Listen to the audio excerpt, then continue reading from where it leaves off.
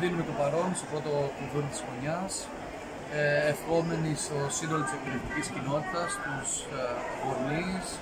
τους εκπαιδευτικούς, να βάλουν πολλές μαθητές να έχουν μια καλή σχολική χρονιά. Από τη μεριά του ο Δήμος ε, πρωτίστως έχει την ευθύνη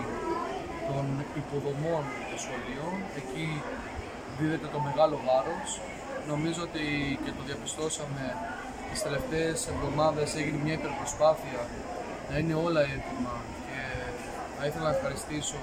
και τις υπηρεσίες και τον αρμόδιο αντιδήμαρχο και όλους τους εμπλεκόμενους για το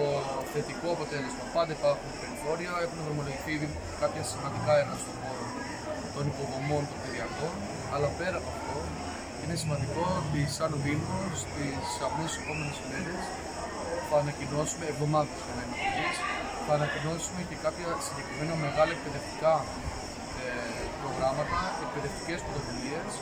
που έχουν να κάνουν όχι δηλαδή με τα κτίρια και τις υποδομές, έχουν να κάνουν με την ε,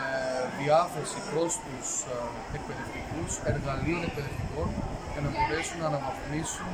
την παρεχόμενη παιδεία στους μαθητές. Συνεχίζουμε ε, την πορεία για την κατασκευή σχολείων μέσα ως ΔΙΤ, όπως επίσης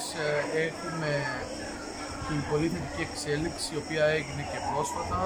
με ενημέρωση εκπαιδευτική υπηρεσία για την ενεργειακή αναβάθμιση τριών σχολικών μονάδων, μεγάλων σχολικών μονάδων, που στην ολοκλήρωσή τους θα αλλάξουν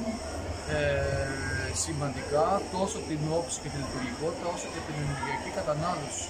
των ε, συγκροτημάτων, το οποίο είναι εξαιρετικά σημαντικό. Θα αλλάξει η όψη γενικά όλη η σχολική κοινότητα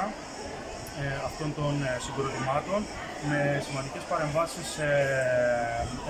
μονώσεις, ε, κουφώματα, θερμοπροσώψεις, ε, όπως και κλιματιστικές μονάδες και έξυπνους φωτισμούς στους χώρους αυτούς. Ε, αναβαθμίζουμε επίσης και τις τουαλέτες και γενικά κάνουμε ό,τι μπορούμε για να αυξήσουμε την λειτουργικότητα των σχολείων αυτών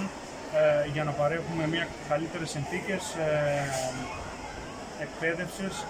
στους μαθητές και στους εκπαιδευτικούς.